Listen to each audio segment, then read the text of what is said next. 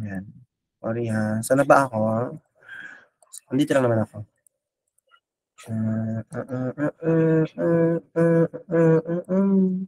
Marilyn, Marilyn, Marilyn, Marilyn. Row, row, row your boat gently down the stream. Merrily, merrily, merrily, merrily.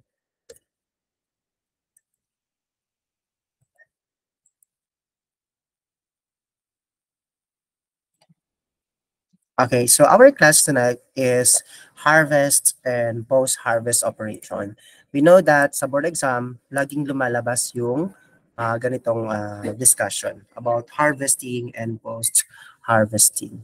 Okay, so let me show to you or let me share to you my screen. Hi everyone, good evening again. Sorry, hindi pa ako mag good evening. Yan, so good evening sa lahat nandyan. Yan. Good evening po sa inyo. And this slides is already been up, sorry, excuse me, uploaded. Nag-birth ako. Nakakatapos ko lang kasi kumain. So, it is already uploaded po doon sa inyong ano, doon sa inyong uh, G Drive. Kindly check it. Nasa G Drive niyo na ang uh, harvest and post-harvest operations. So, yung po harvest and post-harvest na binigay ko sa inyo doon sa GC in advance, sabi ko lang ay uh, studyhin nyo or uh, baka, ah, para mag ano, para mag-retain yung mga natutunan ninyo. If uh, hindi pa rin nag-retain, no? Uh, 'yun. So we will have it individually. Isa-isahin natin. Okay, so our discussion for tonight, it will be harvest and post-harvest operation.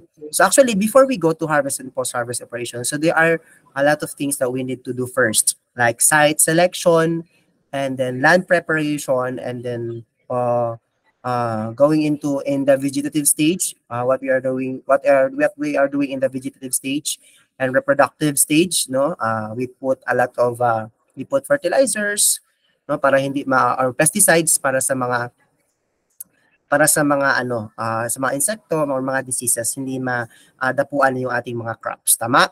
So, ang gawin natin, uh, ang gawin natin pagkatapos noon is the harvest and post-harvest operations. However, they have different, they have different uh, definition. Iba po yung harvest at iba po yung word na post-harvest. No, always take note about this about its root word. No, yung root word ay dapat ninyong alamin. So ano dapat yung alamin ninyo? From the word itself, harvest, meaning you are, oh sige nga, before anything else, bago ako mag-explain sa inyo, let me ask some uh, audience no to answer my question. Okay, so let's, I will ask um, Jason. Jason, can you define harvest or let's say do not, def do not just define the harvest. Can you explain us what is harvest? How it is uh, differ from uh, post-harvest? Ano pinagkaiba ng harvest sa post-harvest? Harvest, sir, ano yan? Uh, batay sa aking pagkakaunawa. Ito yung mga kung saan is yung crops is uh, ready to po ready na yung ma-pick or na-attain na yung maturity kung saan is to mga farmers are getting or harvest the uh, the the products or the crops while the post harvest ito yung mga uh, na-harvest na yung crops then may mga pinagdadaanan pa tong crops na to like like the uh, what we call this the storage like that sir. Storage ng isang crops or uh, uh, kung paano ba siya i uh, what we call this the, the process of the uh, storage uh, ano ba ba packaging yung mga ganyan sir. Then the yung mga steps ng uh, uh, ano ba tawag dito? Uh, steps ng like yung papaano yung technology na ginagamit doon sa mismong uh, crop, sir. Okay, very good. So that is actually the definition of the harvest and the post-harvest. We talk about harvest. Thank you very much, Jason. Okay, so we talk about harvest. It means that during pa, no, uh, it uh, the crops is already reached the uh, optimum uh, optimum maturity of the crops. So noong time na yon, no, saka pa siya pwedeng i-harvest. So yung harvest means that harvesting, ibig sabihin nag-harvest ka na, pinuputol mo na. So they actually, there are a lot of terms when it comes to harvesting. No? May mga terms-terms yan. Ano ang tawag sa uh, uh, pag-harvest ng rice, anong pagtawag sa har- pag-harvest ng tabako, di ba? Ano ang tawag sa pag-harvest ng uh, uh, leaf sheet ng abaka, ganon. So there are a lot of ano, there are also terms for them. No, may mga terms yan sila. Anong tawag doon? So later on, itatanong ko yun sa inyo. Okay, itatanong ko sa inyo kung ano yung mga terms nila doon. And then we have post-harvest. Pag sinabi mo na bang post-harvest, it means pag-post, ibig sabihin after. Okay? After harvest. Ibig sabihin, after mong hinarvest, what are you going to do? No? It depends on you kasi meron sometimes post-harvest, example sa rice, they are going dry, they are drying or they are uh, ano pa muna um separate na muna yung grains from its uh, uh, straw and then that's the time na magkaroon ng drying and then depende na kung ano yung ano yung mga process na gagawin nila. Kasi actually Philippines, Vietnam and India, uh, Indonesia, Thailand, magkaiba-iba yung process ng kanilang ano sa post-harvesting ng rice. And actually Philippines is behind on that technology no ang ano ang, ang Pilipinas ay behind on that technology we are whereas yung mga sa US like US ganon New Zealand Australia Israel they are up to ano up to date na mga technology kaya mas mabilis silang makapag-harvest at saka mabilis yung production ng mga crops nila and then less yung mga diseases sa kanila kasi they they also um uh, practicing uh, crop rotation ganon isa din yun sa pinaka-importante And aside from doon, meron synchronous uh, cropping, ganon. Isa din yun sa pinaka-importante. So yun, that is harvesting and post-harvest. Sa post-harvesting naman, dyan yung na-include yung mga drying, packaging, storing, di ba? So that's, ano, so always remember ha, pag yung mga drying, trilling, mailing, ganon, uh, uh, ano pa yan, storing, grading, standardization, yan, drying, hindi yan siya include sa harvest. Those are include to post-harvest. Kasi sa post-harvest, from the time it's harvesting until after, so from the time after its harvesting until market to consumer, that is under, is me, post-harvest. Okay, that is under post-harvest. Okay, so marketing is also included to post-harvest operations. Okay, so let's now proceed to the proper definition. So let, harvesting is the separation of the economic yield. Oh, separation of economic yield, whether the whole plant or uh, biomass, whole plant biomass, or the portion of the whole plant biomass when crops have reached highest or optimum level of productivity. Now, yung pag na-reach na nila yung maturity nila, okay, or productivity. Let's say yung tinatawag nating reproductive stage, okay? And then you have this, uh, it uh, physiological maturity onwards. And also harvesting, it refers to cutting or collecting. So it's not just separation of the economic yield. Pag sinabi mo uh, separation of economic yields, that is referring to uh, yun, uh, maturity, psychological maturity ng isang crop. So that is ready to harvest. And then it uh, harvesting is also refers to the cutting uh, or collecting of crops. Okay? Referring to cutting because you are going to cut it you're going to remove it from its uh, parent plant, di ba? And then you are going to collect it for uh, packaging or standardization ba, ganun, of crops from the field, which can either be done by hand or manually, or having tools, machines that it mechanically, etc. Depending on the technical and economic factors. No, pag commercialized ang isang crops, so you need to uh, pag commercial ang isang crops, you need to use technology in order to ano in order to harvest it ano talaga um in time or on time sorry on time. If you're going to use ano pag uh, kasi pag mas mas madali, mas madali kasi yung harvesting na ginagamitan mo ng machine okay or mga mecha- mechanized no and mga innovative technology. While uh, sa mga ano sa mga parang like manual lang sa mga hands lang no minsan matatagalan pa tayo. What if pag puno siya like sa apple sa orange ganun So, yun, mahirapan din tayo kay akyat-akyat pa, ganun. So, uh, pero makapagpili tayo talaga ng quality. Yon, quality. So, there are a lot of things like that. So, siguro nakikita niyo naman din yan sa mga reels sa Facebook Reels, right? Sa TikTok, may mga innovative technology ang ibang bansa na tayo ay wala. Di ba? So, they have the they have this technology to harvest pongkan, ganun, pongkan, ganun, uh, ano pa, uh, uh, harvest nila sweet potato, ganon. Rice, yung rice talaga, ang dami nilang technology. Kasi wala tayo dito sa Pilipinas. Siguro some part of the Philippines, ganon. Kasi kahit nga tractor sa atin dito eh, no, sa ano, Department of Agriculture, naman sa ano, sa Bay Region, Department of Agriculture, nasa ano lang, nasa storage room lang, hindi pa na, na distribute na ano lang, ano nangyayari? Nagra-rust lang, natataya lang. No? So, yung iba hindi na ano, hindi na bibigyan. Tapos yung mga fertilizer nasisira lang. Actually, I saw, I saw that sa from one of the barangays sa ano, uh, sa Basilan. Um, yung mga fertilizer na binigay sa kanila ng DA, nasa ano lang, nasa stage lang siya nilagay hanggang nasira lang siya. Actually, it's a complete fertilizer. It's urea. So, sabi ko sana, it should be ano, it should be uh, given to the or distributed to the farmers. Sabi nila only co-op farmers can uh, ano daw can receive. Pero ngayon eh nasira lang, no? Naging ano lang siya sa ano sa lupa. So sayang lang. So that's the only that's the uh, disadvantage also. No, dapat pag naibigay ay i-distribute na din para ma, mapag ano din uh, magamit, kay mapakinabangan. And then we have the post-harvest handling. Post-harvest handling refers to the movement of farm products. So ito na yung movement of farm products from its beginning to its end or consumers. Or operations through which the commodities undergo from harvest. So the commodities were undergo, which undergo um uh force uh which undergo from harvest to possession by the final consumer. Okay? Okay, from the from harvest to possession by the final consumer. So this is the, like sabihin, from harvest uh, going to uh, consumer, that is what we call post-harvest handling. Okay?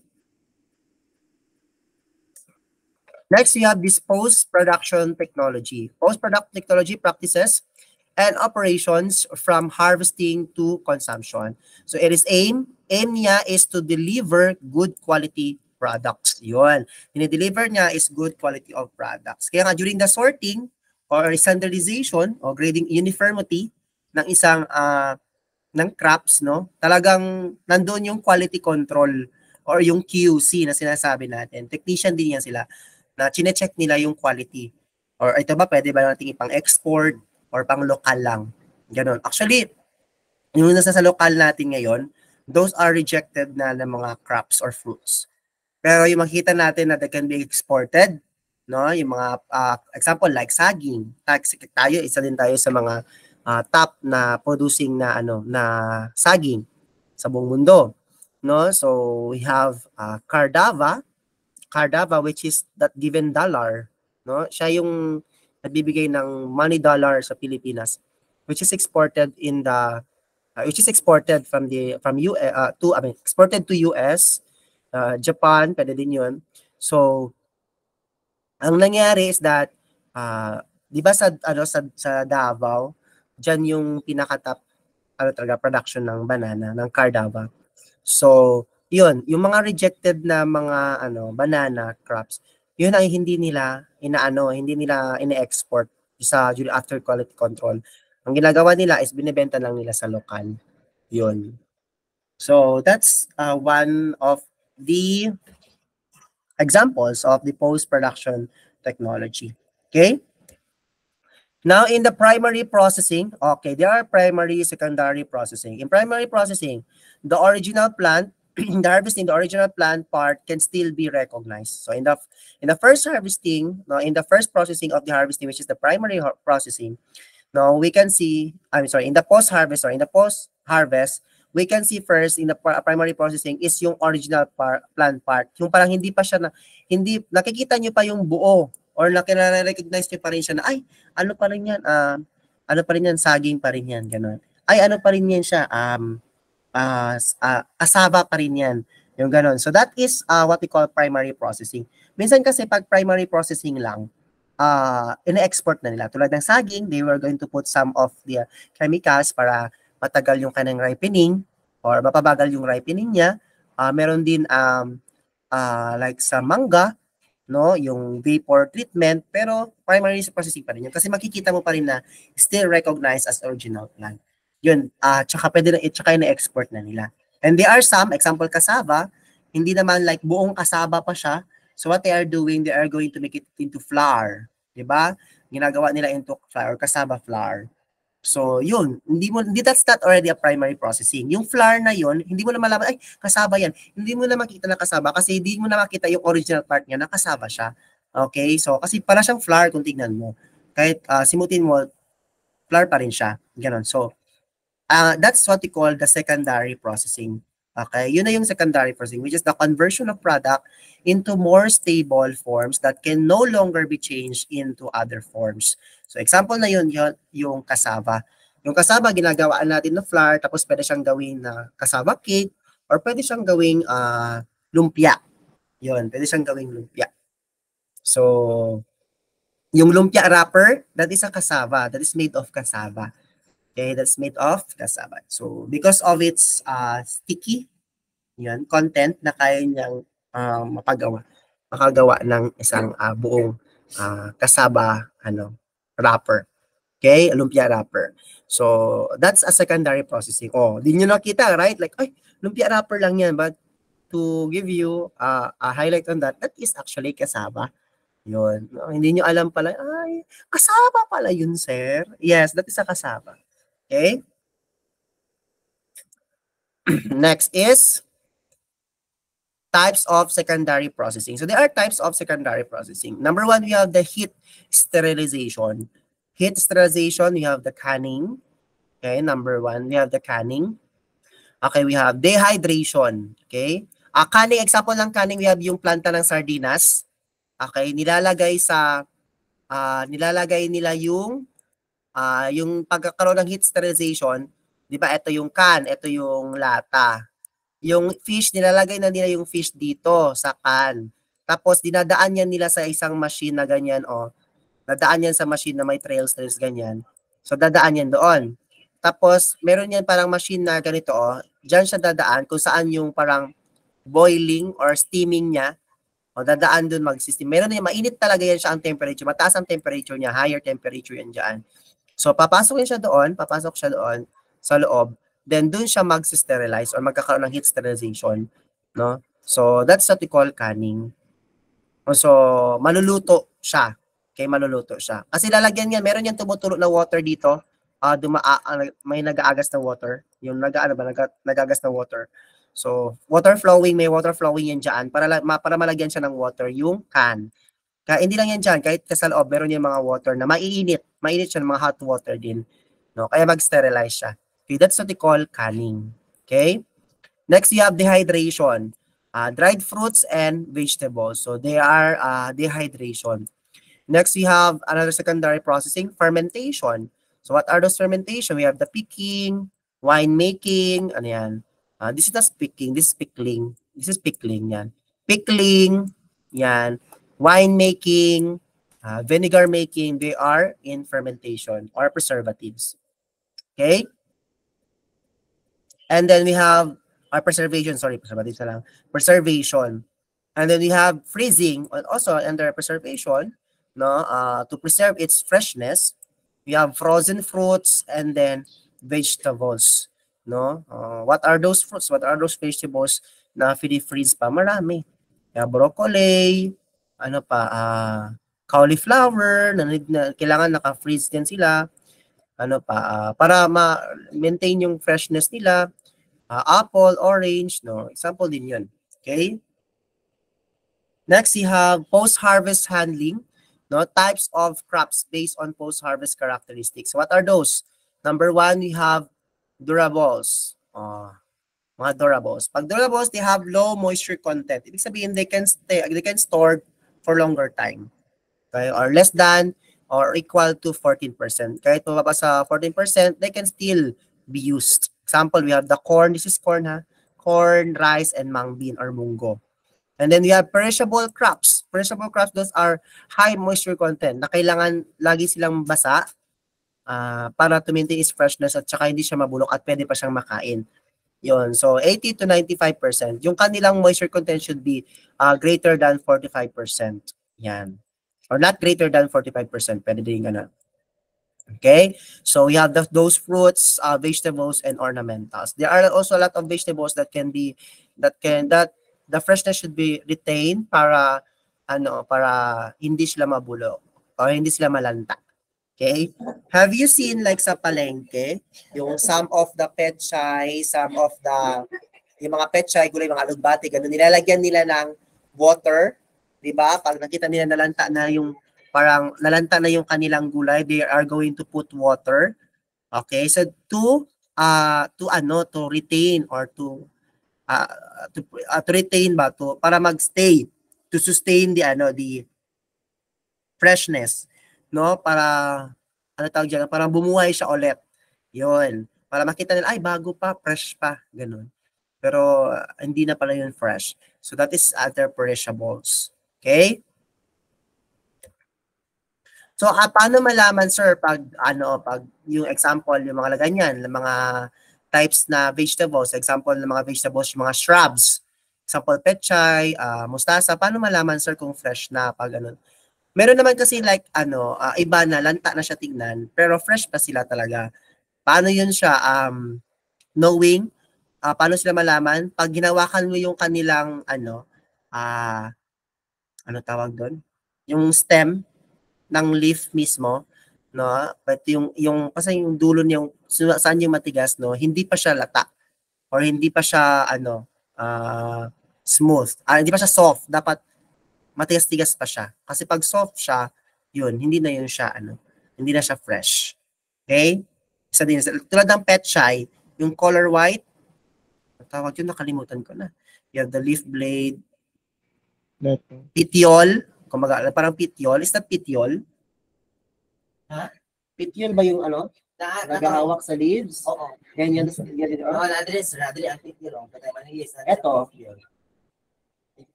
Ligyol? Ligyol.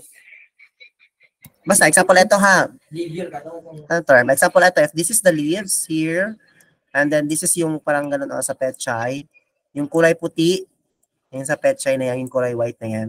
Yan. Pag matigas pa yan, yan, pag matigas pa yan, ibig sabihin fresh pa siya.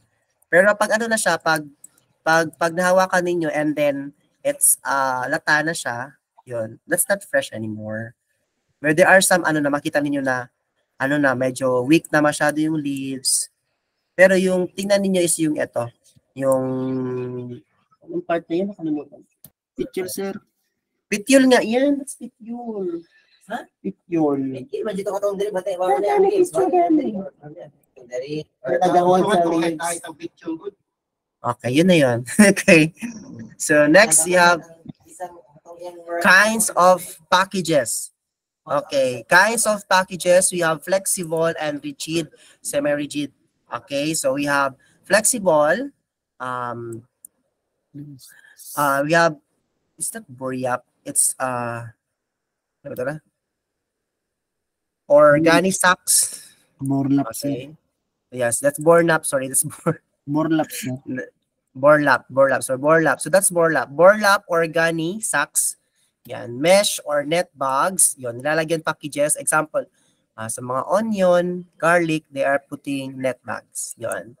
Uh, pebs, palm leaves, sacks of woven plastic fabric. Bakit yung ginagamit nila instead of car, car, ano, mga carton? Bakit ito ginagamit nila? Para, bakit kaya? Bakit? It because of the letter R. Bakit kaya? Bakit? Bakit yun ang ginagamit kadalasan? Hindi siya box ang ginagamit. Kundi ang ginagamit sa mga onion, garlic ay ano, sacks, mga net bags. Para ang Ano yan, sir, eh? Hindi, mag, hindi magulat sa sulod na glass eh. Hmm, pwede din, pwede po, pwede. What do you mean by that? It starts with letter R. Dito. Nakalimutan ko.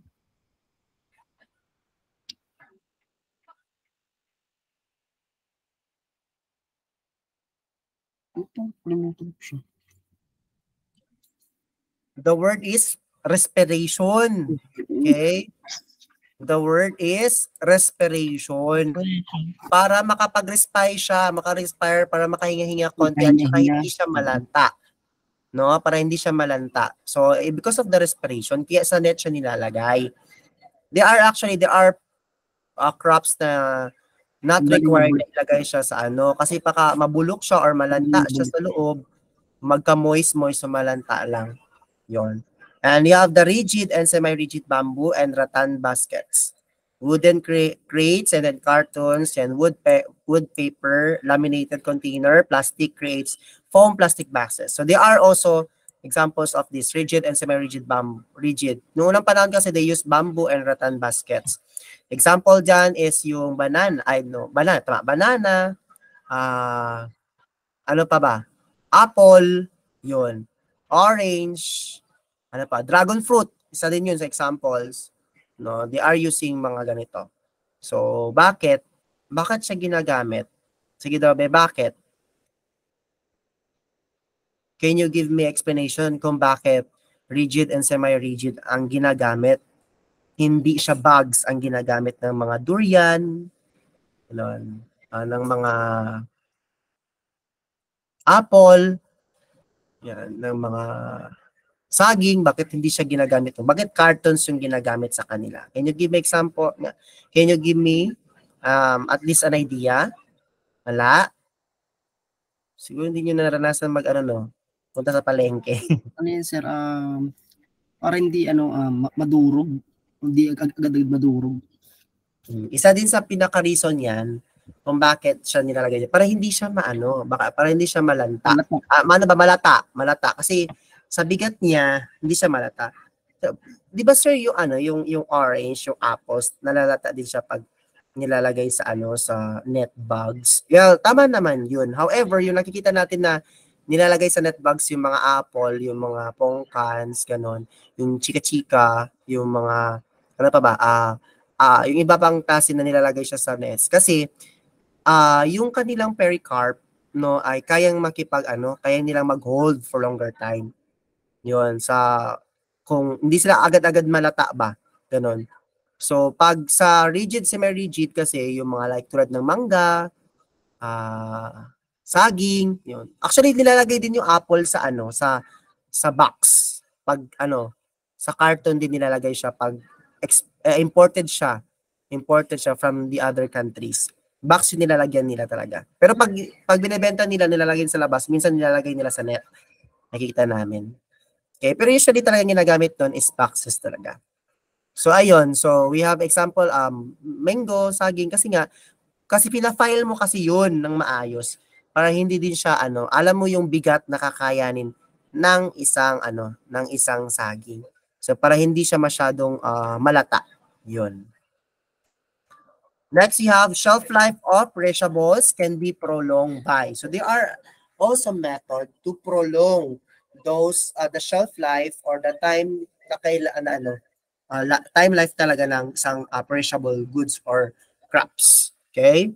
Number one is cold storage. No, you are going to put it in a cold storage. So evaporative cooling perishables give off heat during respiration and when a source of heat is within the vicinity kasi pag mainit kasi yung lugar, that's na madali lang yung ripening niya or uh, magkaroon ng higher production of hormone ethylene. Yun. So, yan, heat, uh, heat given off is used in evaporating water, resulting in a drop in temperature and increase in relative humidity. So you are going to put in the cold storage in order to decrease the uh, uh, to magkaroon ng off heat. So pag pag pagpawala na magwala yung kanyang init, hindi naman lahat talaga. So mawala lang yung init ng ano na meron doon sa isang crops. Para hindi din mag-maintain yung init. Bababa lang siya in order to maintain those freshness na magkaroon ng freshness sa isang crops or sa isang plant. Okay? So isa yan sa pinaka-example din. Okay? So next we have uh, modified atmosphere. So modified atmosphere, it is storage respiration of the produce modifies the atmospheres. Yun. Uses any of low density, we have the polyethylene, LDPE, polyvinyl, yan. Uh, chloride, yan. And then waxes temperature compensating packages, vacuum or hypobaric packaging. Example nito modified atmosphere is, are you familiar with guyabano? Or guyabano? Yan. Or sa amin kasi is labana. Yes, labana. Di ba yung prutas niya, yung prutas nun, ah ano nga English ng labana? Labana? Oh, labana? Sour soup. Sour Ha? sauce, sir. Oh, sour, yeah. Tawa, sour, Sour soup, sabi. ah, sour soap. Oh, tama yun, tama. Kasi, ano yun siya, medyo ano eh. Ah, sour nga taga, isa sour soap. Charot. Yun, so, example yun ng modified atmosphere. Diba? You put some, so, ano nilalagay ninyo? You put some ashes yun to ano to boost its uh, ethylene hormones nilalagay ninyo sa modified atmospheric air area. So example, example din yon so you are going to storage and then find its respiration no to produce modifies the atmosphere. So magkaroon ng uh, ethylene production. And then we have controlled atmosphere storage or the CA storage. We have this the supply and level of carbon dioxide and oxygen are manipulated through gas generators and appropriate control devices in properly designed storage structures. So example nito ay yung controlled atmosphere storage. Example po nito ay, uh, can, can you give me example? Kasi meron ito, through the supply and level of carbon dioxide and oxygen are manipulated through gas generators and appropriate control devices in properly designed storage structures. Can you give me example? Coconut kakaroon. Sa CA storage that you are using uh, gas generators and appropriate control devices in properly designed storage structures. So may sarili siyang storage structures, right? So nilalagay siya doon. Mango. Tomato. Ah, tomato. O, ano, ano, ano, ano, ano nilalagay na tomato? 'Di ba? Ang tomato nilalagay siya sa kanyang sariling storage area. Kasi ganito yan siya. Pag nilalagay mo sa sariling storage area, syempre titignan mo pa kung alin doon ang hinog na. Kasi iba yung ano, yung tomato. Pag nakita, ma, pag may, may nakita sila na um, karamihan sa kanila ay nag-ripe na or nahinog na, so ayun, maghihinog na din silang lahat. So ganun yung attitude ng tomato. So yun. Isa din yun. So that is a under controlled atmosphere CA storage or CR storage. Okay. Next, we have biological factors that involve in deterioration. What is deterioration, by the way? Kasira. Hmm, pagkasira or pag, pagkabulok.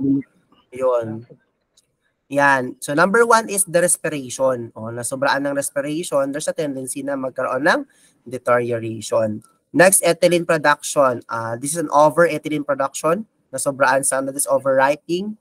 Yun. So, compositional changes, isa din po yan. Then, transpiration of water loss. Pagkawala ng uh, water from it, no? transpiration. And then, nagkaroon, kaya nga, nagkaroon ng sobrang uh, pagkataas ng ano ng production ng respiration. And then we have condition of crops. Yes, the condition of crops and then growth and development. Kasi hindi natin alam that crops pala is not resistance to lower content. So you should know the mortality the, the mortality rate. I mean the, the mortality tuloy. You should know the shelf life of the crops. Okay? And other than that, we have also environmental factors that involve in deterioration. Also, the temperature. Also, dahilan din yan yan, temperature kaya nabubulok or nalalanta. And relative humidity. Yun, isa din yan atmospheric composition, ethylene, light, and sanitation. Yon. Ang pinaka-target talaga natin is we have sanitation. Example dun ay yung uh, vapor heat treatment for water vapor heat treatment for mango to export in Japan. No, we are using water vapor heat treatment to uh, uh, decontaminate the mango. And that is sanitation para hindi siya madaling mabulok or malanta at saka yung mga pests and diseases na nandoon na dinala ng uh, mga insects, oh, yun, ay mawala or mapatay. Okay? And we have classification of RS patterns. Okay? Okay, we have the classification of RS patterns or remote uh, remote systematic patterns. Classification of remote systematic patterns. Uh, we have climacteric. Uh, there are also crops that is climacteric, harvested at optimum maturity and ripened after harvest. So ano ibig sabihin nito? Pag in-harvest mo siya, hindi pa siya ripened. Okay? Uh, hilaw pa siya noon. So pag pag ni-store mo siya, magra-ripe na siya ng kusa. No? Uh, yeah, show dramatic changes after harvest. or shall we say degreening na din ang term, degreening. No, um nung kinuha mo pa siya kulay green pa, mga ilang week distorted mo lang siya, maibang naging naging brown na siya or naging yun, naging brown na siya. Example nun ay avocado. Yun, you have apple, avocado, banana, mango, peach, pear, plum, uh, tomato. No, after you are uh, going to harvest them, so after you harvest no, pag matagal-tagal na, pwede na siyang kainin because it's already matured or already ripe. Yun, ripe na siya. Yun, labana din or guyabano. Isa din yun. And we have uh, non-climacteric. Pag non-climacteric, no, it's not climacteric, no, continuously uh, declining rate of respiration. Okay? Uh, continuously declining rate of respiration from maturation to the end of senescence. Okay? No burst of uh, RS or remote systematic during uh, post-harvest. Okay? Harvested ripe, inharvest mo siya ng hinog and ready to consumption. Pag kinuha mo na doon, pwede mo nang kainin. Example, we have the citrus. Yun.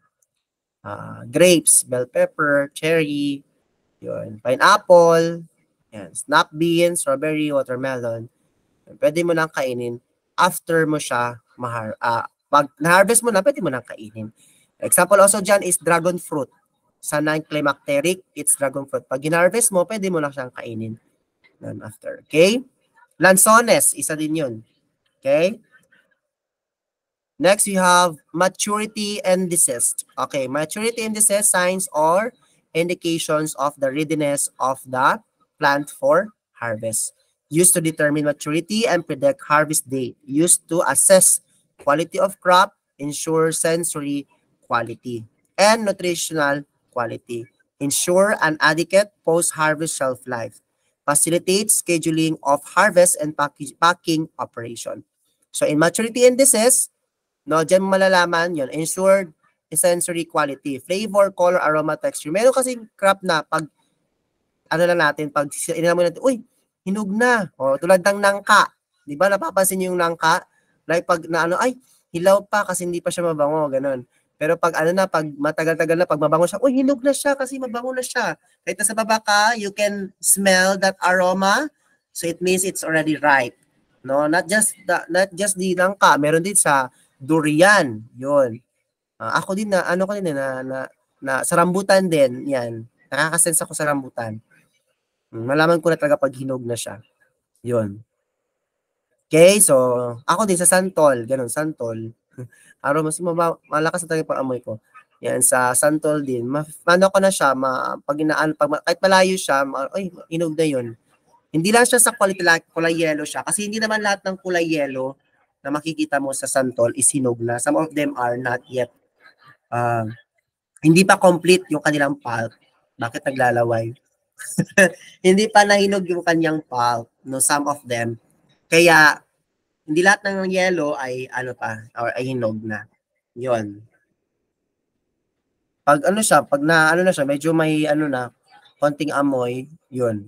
Pwede na siya. Okay, next you have age-related or penological. So, ano yung age-related and penological ng isang sa post-harvest? We have number of days from planting to maturity.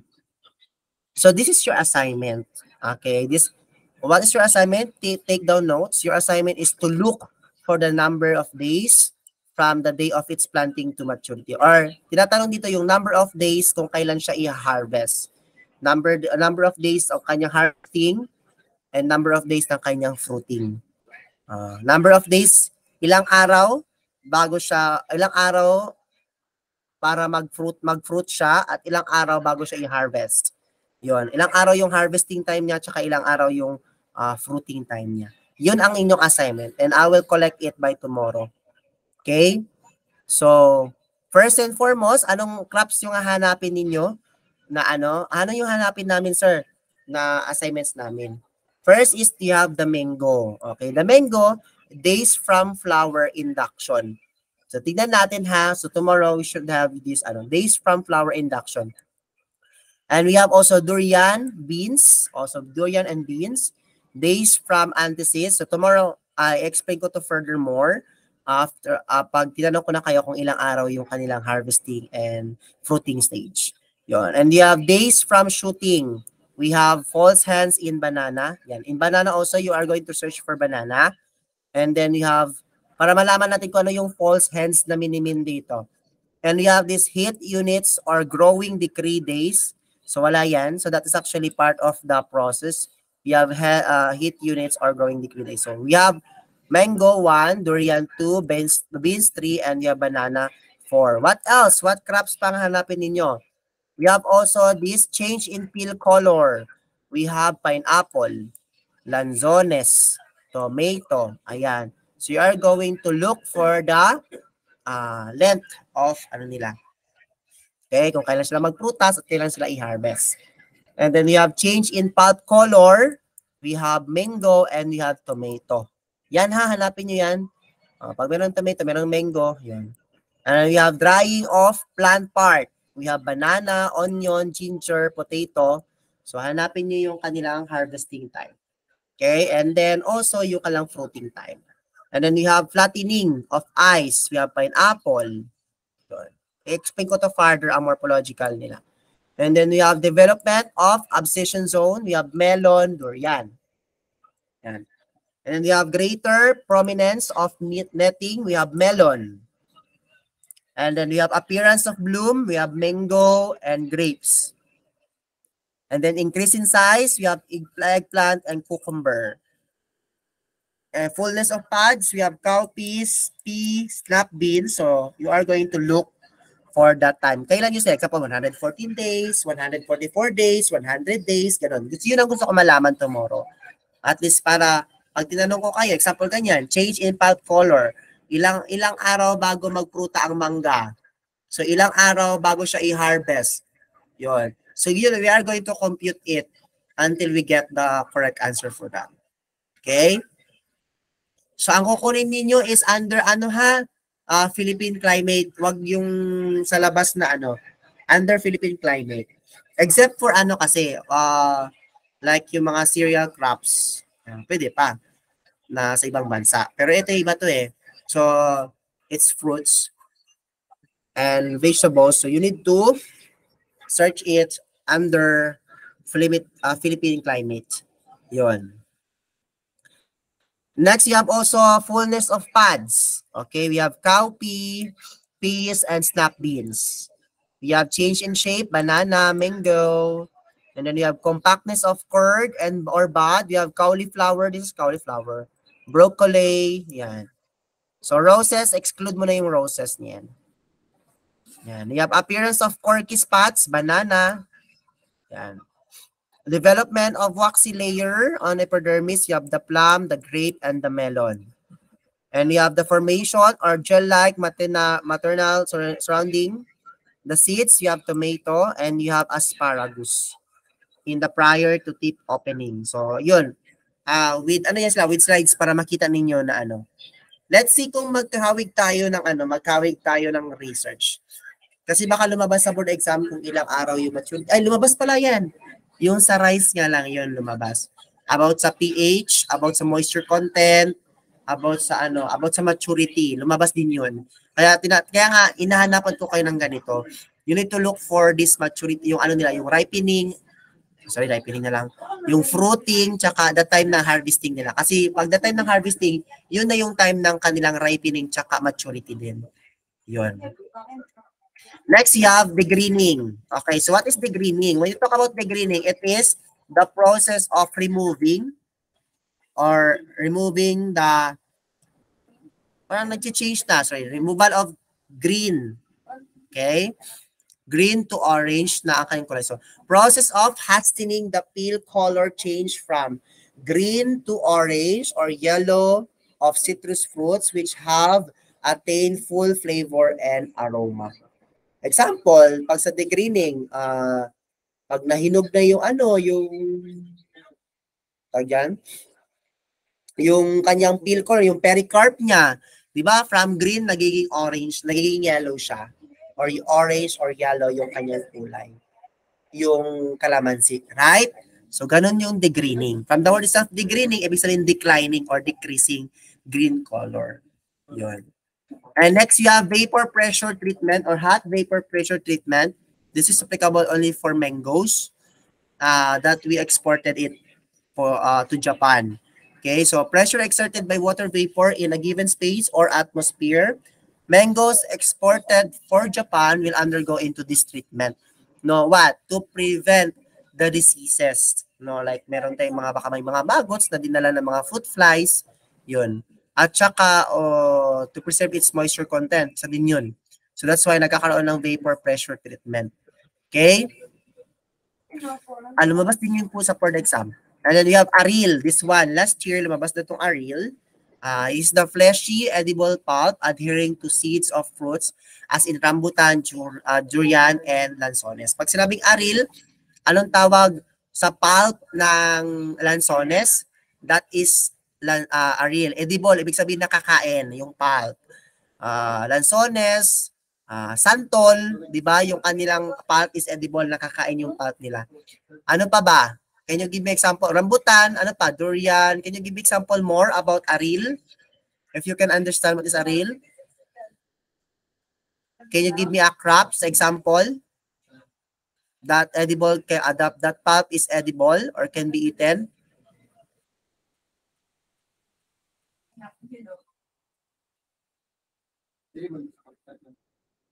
Hello?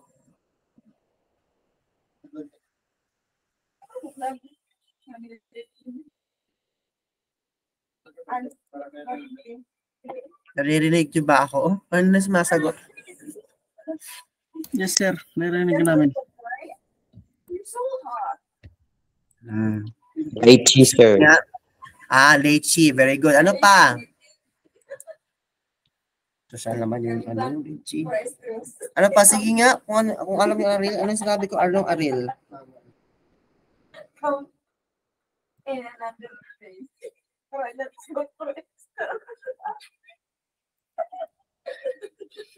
Sige nga kung naintindihan nyo, what is aril? What are the example of aril?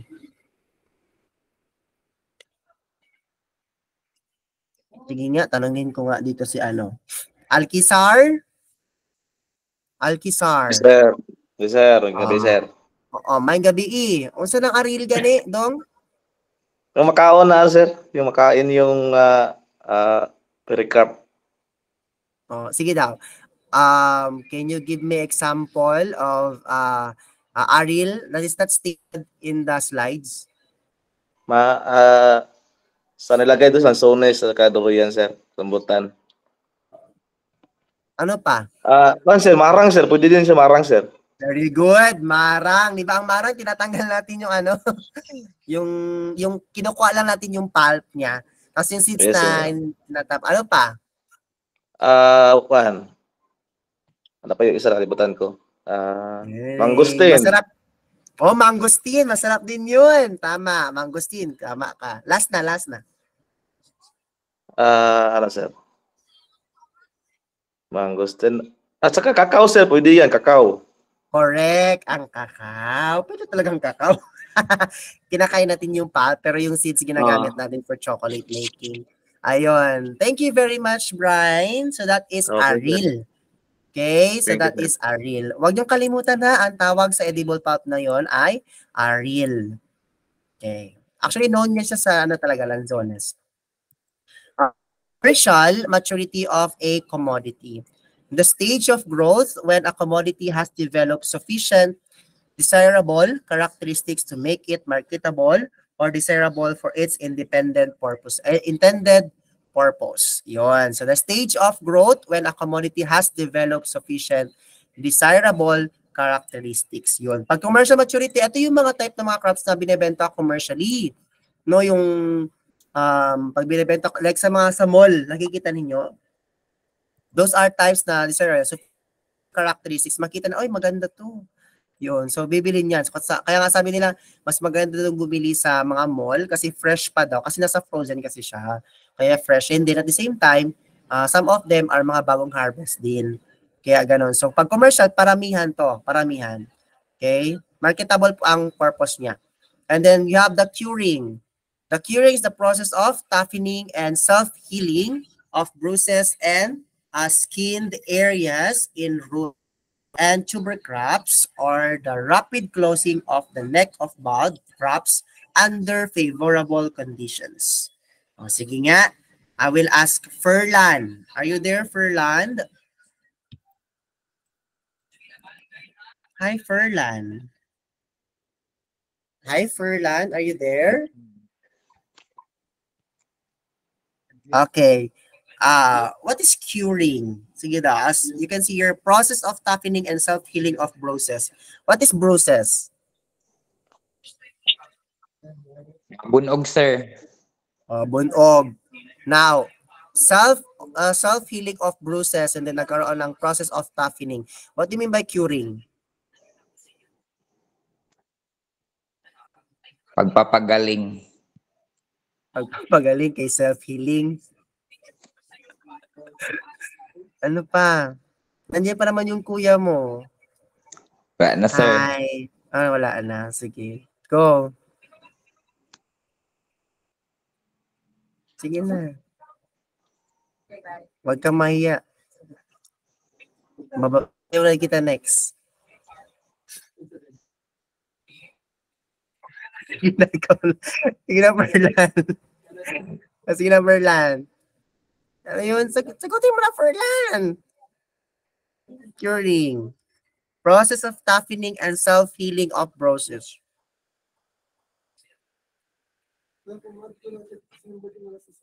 Wala. Ah, sige daw, be. Si Erica Joy Valbuena. What do you mean by curing? Valbuena? Erica Joy.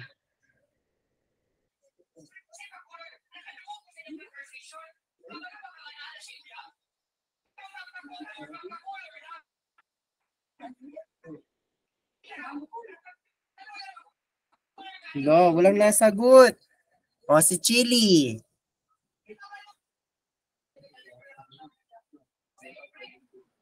Sir, good evening. Oh, good evening. Sige daw, what do you mean by curing? Curing or curing? Ako lang May minsan yung example, sir. Like sa crop, sir, nabawa na lang tayo, sir. I-bisbisan mo siya sa, sa leafy vegetable, sir. Bisbisan mo siya sa tubig para mabalik tong iyang O, sige ha, eto, wag yung ano. Sige, sige Jason. Ano sagot mo Jason? Curing, sir, ano yan, sir? Ah, um, yung nalalaman ko, parang hindi, ano, hindi siya, ano, ah, nakatali dito. Ay, yung ah, process ng, ano, eh, air drying, sun drying, ganyan. Para mapa, ma, ma- mapatagal yung Iba yung curing iba yung na curing.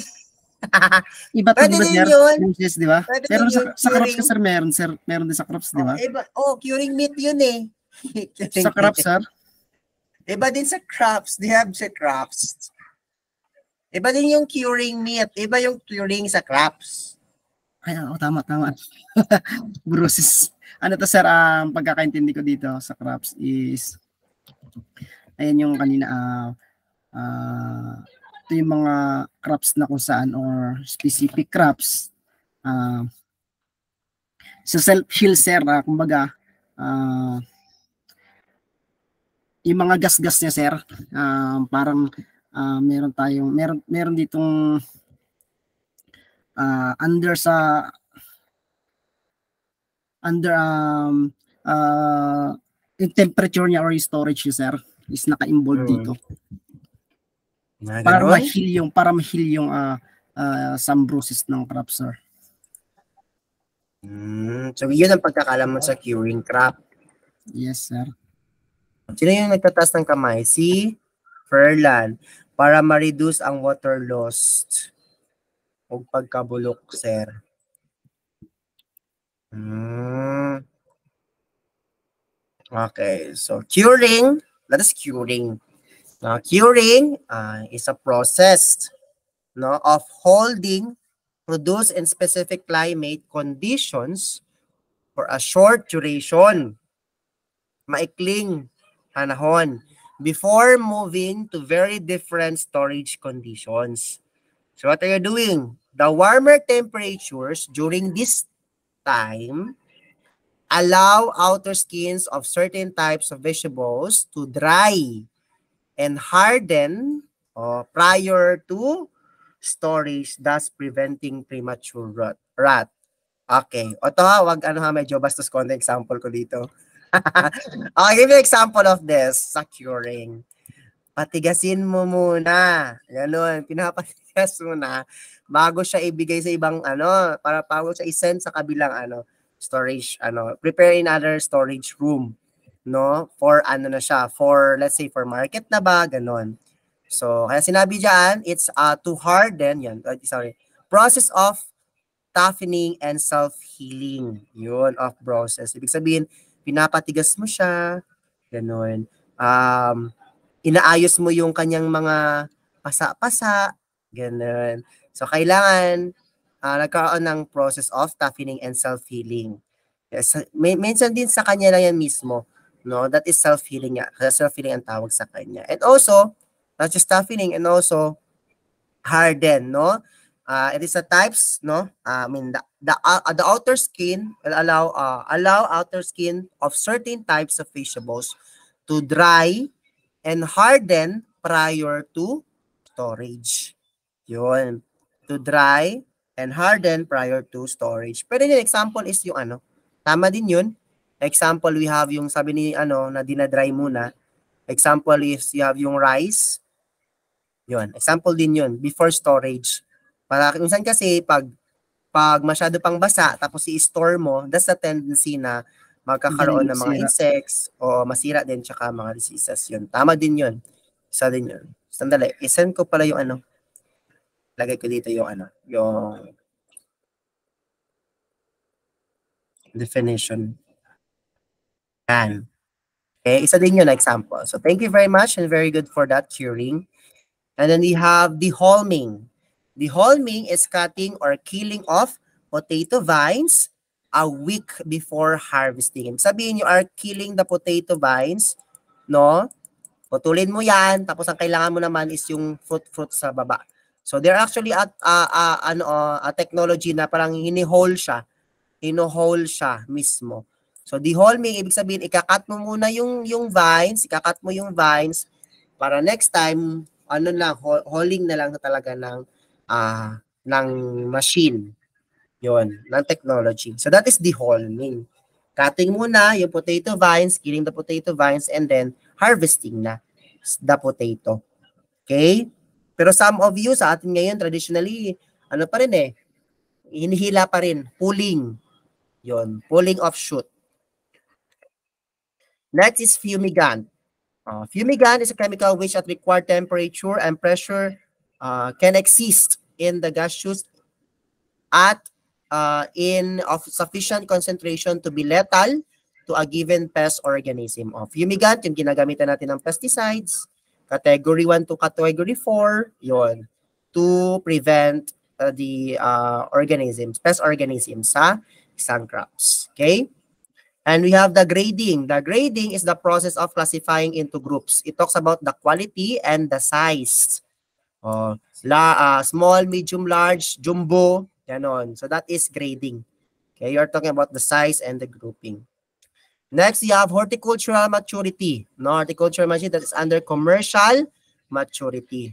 Kasi pag horticultural na alam niyo na 'yan, pang ano na, pang malakihan na din 'yan.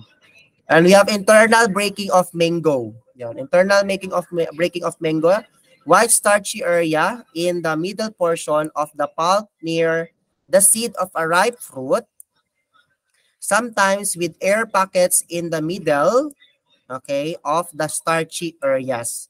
So, nakikita niyo ba yung ganito? Yung example, di ba, pag tumatagal yung mango fruit sa ano, sa trees or kahit sa storage lang, no magkakaroon ng breaking. 'Di ba? Nag parang nagkakaroon siya ng liki, yung ano ba? Yung- Yan, breaking ba, breaking. Tapos nakikita niyo na yung kanyang middle portion.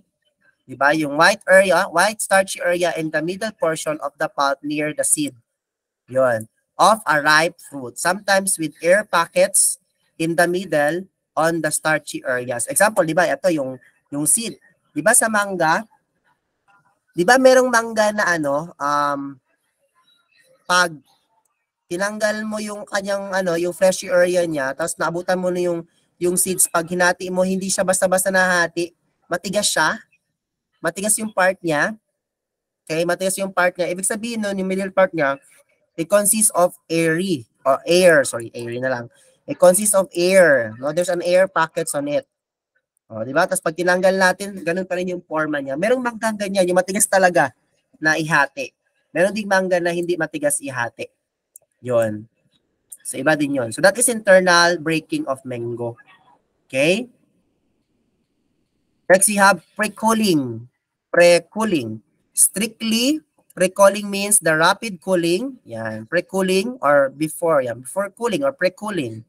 48 hours or less of a commodity to a desired transit or storage temperature soon after harvesting before it is stored to move in transit. Pag sabing pre-cooling, before cooling. So bago mo siya ilalagay sa next move ng transit mo, dapat magkakaroon ka muna ng pre-cooling, pre pre-cooling. Uh, this is under climatization. O yun, para at least hindi siya mabigla-bigla. Hindi mabigla yung foods. No, dapat magkaroon muna ng pre-cooling. Di ba bago na siya ilagay sa transit ng malamig na freezing na transit na yan, mababa yung temperature. Di ba ilalagay muna natin siya sa stored na box or sa lugar na kung saan meron cooling or um, ano, um, hinay-hinay na tumataas yung temper, ah, bumababa, sorry, bumababa yung temperature. So, ibig sabihin, lumalamig ng lumalamig, hinay-hinay. So, hindi siya babiglaan, ganun. So, that is pre-cooling. And we have shelf life. Okay, shelf life is a post-storage market life. Yun. Post-storage market. Pag sabi yung shelf life, gaano ba siya, mga ilang days ba siya? Yun. Ilang days yung kanyang aabutin. So, yun. That is under uh, post-storage market life. Okay? Next, you have uh, sorting. Oh, magsasort ka na ngayon. You are classifying of commodity into groups designated by the person classifying the produce either according to, it, to a set criteria or whatever criteria he may desire. So that is sorting. Okay? Process of classifying of commodity into groups. Yun. So that is, sinusort mo na siya ngayon. O, ito, dito ka. O, dito ka. Dito ka. Ganun. So, ganun, that is sorting. Okay, ano pinagkaiba? So, is it sorting and grading ay magkaparehas? Yes, kasi sinusort mo eh, sineseparate mo pa rin yun. Gini, nilalagay mo siya into groups like medium, small, medium, large. Ganon. Magkaparehan din yun sila. Kasi sorting, sineseparate mo lang din yun. Ang sorting, sineseparate. Ang grading, inaano mo siya kung saan talaga yung kanyang, saan talaga siya size, yung size niya. Ganon. Next, we have standardization. It talks about uniformly, uniformity. Okay, magkapare-parehas yung ka, ang ang ang ang ang haba, magkaparehas yung kanilang taba, ganun. So yun. The process of formulating and issuing grade standards in the country or industry. Okay? And we have vascular streaking. Vascular streaking, uh, browning of tissues about a centimeter. Browning of tissues about a centimeter below the peeled surface of a cassava viewed cross-sectionally. Um, have you seen like, naka-experience naman siguro kayo, di ba? If you're going to peel cassava, ba, pag nag-peel kayo ng cassava, uh, pag maya-maya, magkukulay brown na yung tissues niya. Tama? Di ba? Maya-maya, magkukulay brown na kasi na-expose siya sa air. That is what we call vascular streaking. Nagets niya ako? That is vascular streaking. Ibig sabihin, pag pag na-slice mo siya after mga ilang ano, mag-ano na siya, mag-brown na siya. Example din yan is yung mangga. Yung mangga, pag nag-peel ka ng mangga, pag ginayaan mo siya, after mga ilang minuto, mag-iba na ang kulay niya. Di ba? Uh, can you give me more example about that? The, John Ray.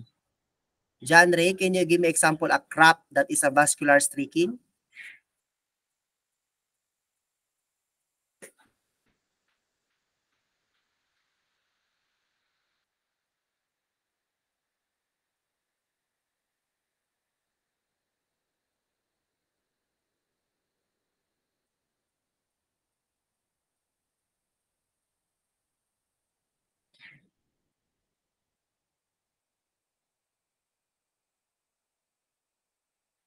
O, si Kuan na lang, o, si Chili. Langka, sir. Hmm, langka. Ano pa? Hmm. Um, sir, talong. Oh, talong. Very good. Talong din. Pwede din yun. Very good yan. Santol, sir, santol. Hmm, yun, santol talaga. Pinamakita mo agad yung santol. Yeah, very good. So that is under vascular streaking. Very good, very good for that. Okay, next we have tulog nata si John Ray eh. Next, you have waxing. Okay, waxing is the application of a thin film of surface coating to fruits and vegetables. So the coating may or may not be wax, but usually the term wax is used synonymously with surface coatings or protective skin coating. O, bakit tayo nagwa-waxing doon sa fruits? Bakit tayo nagwa-waxing? Example, if you're going to export something uh, sa our crops, we are doing waxing to protect them from the UV rays. Uh, or waterproof din, isa din yun. Uh, water rays, waterproof, uh, from the diseases, di ba? Yung waxing parang cuticle lang din yan. Cuticle din yan sa crops. Okay? So that is waxing. Okay? Next is we have water elimination. So water elimination refers to, dra- to the drying of surface moisture after washing or waxing or when commodities are harvested wet.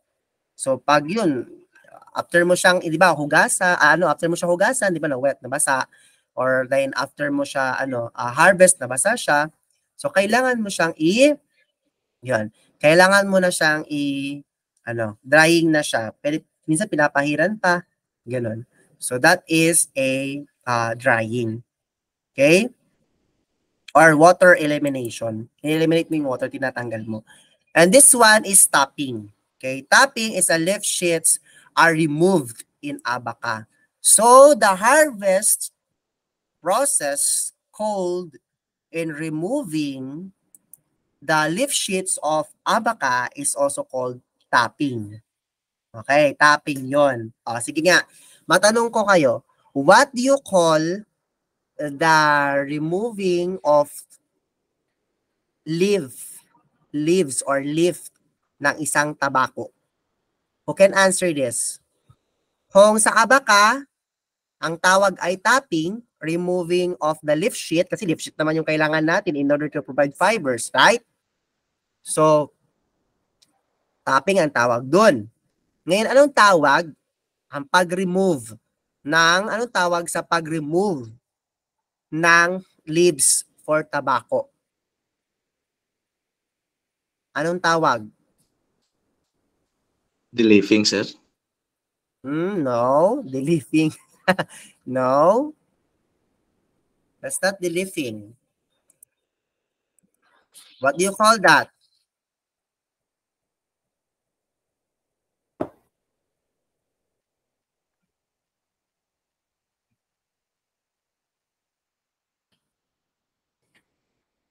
What do you call that?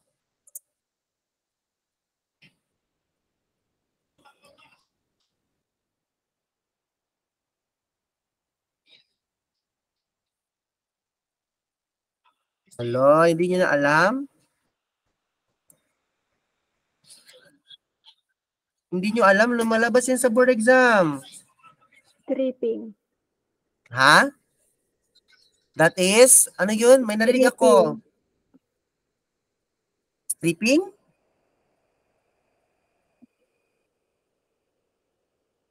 Ano tawag doon?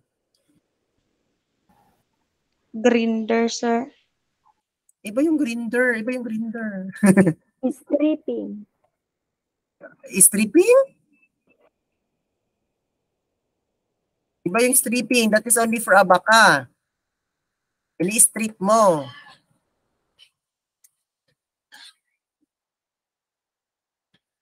Ano tawag doon? Oh, it starts with letter P. Pruning. Ha? Iba yung pruning. Gaming, sir. Ah, ano? Priming. Correct. It's priming. Priming ang tawag dun. Yung pag tinatanggal mo yung leaves ng tabako, ang tawag dun ay priming. Uh, that is uh, the harvesting term for ano, tabako. O, di ba? Sus, nako. How about sa rice? How about sa rice? What do you call that?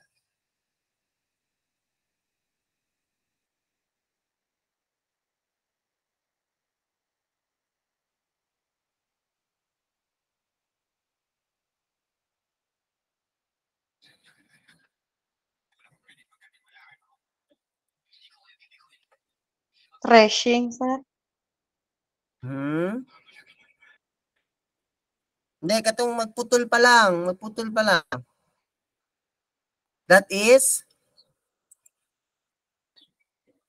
what do you call that? Iba yung threshing. Yung threshing, yung mag-ano ka na.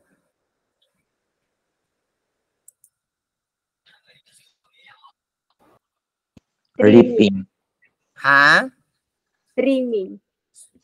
It's reaping. Very good. It's reaping. R-E-A-P-I-N-G. Ilalagay ko pala dito kay para makita ninyo. Kanina, it's priming. Ganito, priming for tabako. Tapos, yung sa rice is, ay sorry, eh na, tabako. Tapos sa rice is reaping ang tawag. Hmm. Reaping ang tawag sa rice kung magkakat ka na magkakat ka na ng mature panicles. Ang tawag po dyan ay reaping. Ang separation ng paddy from paddy grain from its uh, the rest of the cut crop, no, from the rest of the crop is threshing ang tawag doon. Okay, na-gets nyo na? Okay, next. How about sa corn?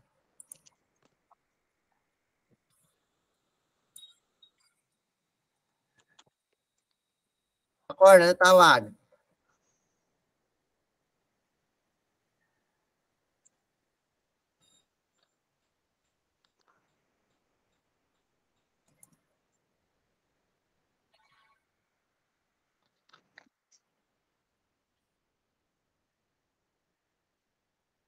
How about sa corn? Stripping. Ha? Stripping. Ano kaya tawag sa corn yan?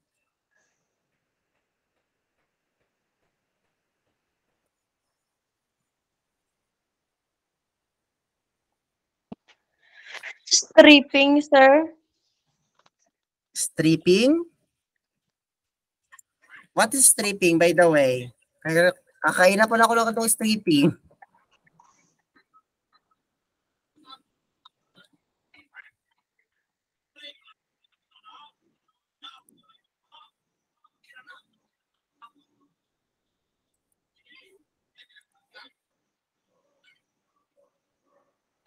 Okay, the correct answer is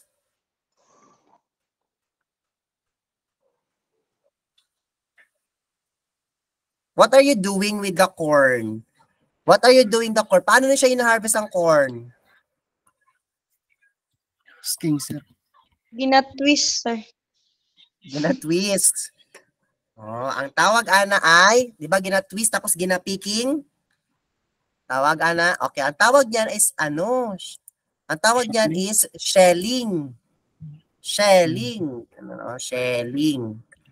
Ang shelling, ah marami siyang combination like starting siya doon sa pag-pick tapos ganun mo siya tapos um ang tawag doon, ah, kalimutan ko na. Ah, shocking, shock mo muna tapos picking and then threshing, ang tawag na doon ay shelling. Parang isahang ano na din siya, tawag. Okay? Meron din na ano, pag-harvest na corn na yung kinakat talaga yung stalk, ang tawag doon ay chopping. Ang tawag doon ay chopping. Okay, yun. Okay, next na tayo. Yun ha. Oo, dapat alamin nyo yan. Kasi board exam, lalabas yan. O, paano kaya, ano naman, sa banana, anong tawag sa harvesting na yon? Sige nga, be. Paano kaya sa banana? Anong tawag kayo sa banana?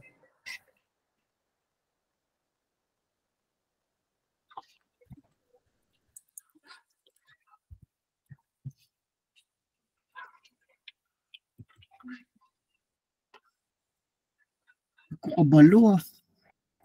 Wala, wala mo kabalo. Mauna Kabalo na ron na ma. Mauna na ron ba? Dili gina pwede dili kabalo.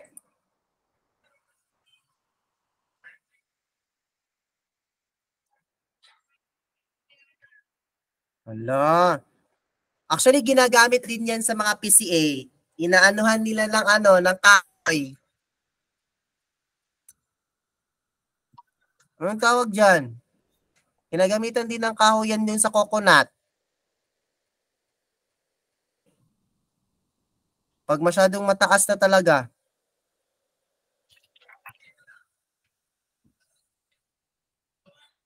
Ano kaya tawag nun? Hala, it's propping. Oh my God, it's propping. For banana. Yan, ginagamit din yan ng PCA. Yung mag, kahit ma, pag mahaba na talaga, ginagamitan nila ng kawayan, nilalagyan nila, ginaganon-ganon lang nila para mahulog. Pag tall na talaga masyado ang coconut. Yon. Wrapping. Hello. O sige, search nyo yan. Madami pa yan. I-search ninyo ha. Lalabas yun sa board exam. Kaya kawawa. Sige lang. So. Yan, sa amin time namin, lumabas yan. Dalawang items lumabas dyan. Okay, next tayo is we have toxaying. Okay, toxaying or toxaying is the separation of the strong mechanical bundles from the weaker fibrovascular bundles. Example nito ay abaca. Okay, di ba? Pag after natin mag-tapping, no, we separate the bundles from its fiber. Okay? So that is toxaying. Toxaying. Now my question is, lumabas ito sa board exam din. Ang lumabas ito sa board exam, anong machine ang ginagamit para pag-separate ng fibrovascular bundle ng abaca at saka yung leaf sheet niya? Anong tawag doon? Anong tawag sa machine na yon? It starts with letter D. Yes. Oh. Ha? Alam mo yan, di ba? Lumabas yan sa board exam, John Ray.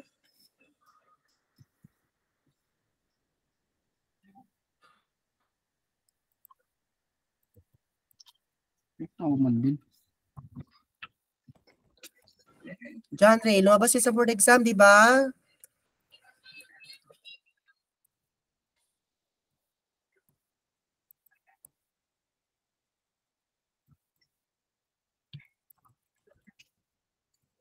Ang ano, sir? Ang ano? Ano ang machine na ginagamit for abaca? To strip the skin of abaca?